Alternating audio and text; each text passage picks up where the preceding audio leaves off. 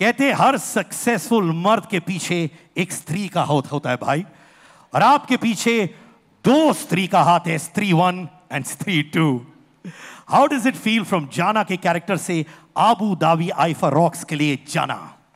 Sir मुझे लगता है कि स्त्रियों के अलावा मेरे इस मुकाम के लिए एक और चीज़ जिसका कमाल है, और वो है मेरा नाम। क्योंकि मेरा नाम है अभिषेक। तो आई थिंक मेरा अबू धाबी में होना बनता है। और मेरे साथ वहाँ पे चतुर बातें करने के लिए चतुर्वेदी भी हैं जो कि ज़्यादातर वेट लिफ्टिंग करेंगे और मैं स्पिरिचुअल बातें करूँगा ताकि ऑडियंस को थोड़ा सा होलिस्टिक अप्रोच हम लोग रखें वहाँ पे।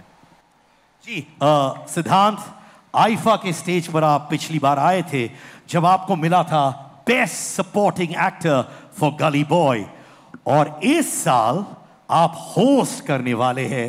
You must be feeling on top of the world my friend वैसे ये पहली बार है जब मैं आईफा के स्टेज पे आ रहा हूँ, क्योंकि जब वो बेस्ट सपोर्टिंग एक्टर मिला था, तब पैंडमिक चल रहा था। तो जो अवार्ड है, वो मेरे घर आ गया था। यूजली लोग आईफा के लिए घर से बाहर जाते, वो मेरे घर आ गया था, लेकिन जो फीलिंग है वो इतनी सॉलिड है यार। क्योंकि ना, बचपन से मैंने मम्मी के साथ बैठ के टीवी पे आईफा देखा है और सोचा है कि यार, कभी ना कभी तो वहाँ होऊँगा और अब, इस बार आराम से बैठ के मम्मी के साथ अपने आप को देखूँगा होस्ट करते हुए, वो भी आबू धाबी में तो मैं बहुत ज़्यादा एक्साइटेड हूँ। और ऐसा है कि मैं एक चीज़ कहना चाहूँगा स्ट्रेट फ्रॉम द हार्ट ऐसा नहीं है कि आप ही स्पिरिचुअल मैं भी थोड़ा सा ऐसा है ना कि कर कर। नहीं मैं करूँगा।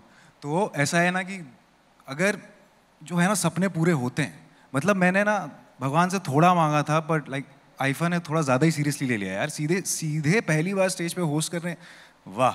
और ऐसा है ना एक मेरा मानना है एक महापुरुष ने कहा है जिनको मैं बहुत ज़्यादा प्यार करता हूँ कि अगर किसी चीज़ को पूरे दिल से चाहो